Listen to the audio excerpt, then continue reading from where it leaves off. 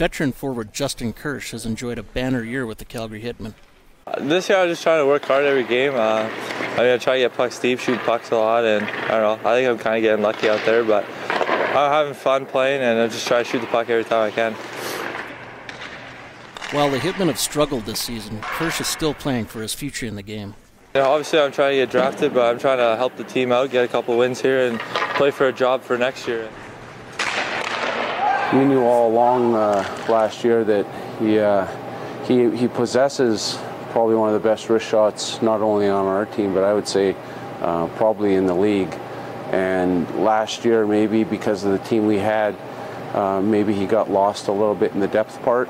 But uh, as a coaching staff and that, we knew he uh, we knew he was going to be a very very good player for us in the future. You know, I'm just trying to go out every game, and no matter what, how many points we have, uh, trying to play my hardest every shift I have and get a couple points.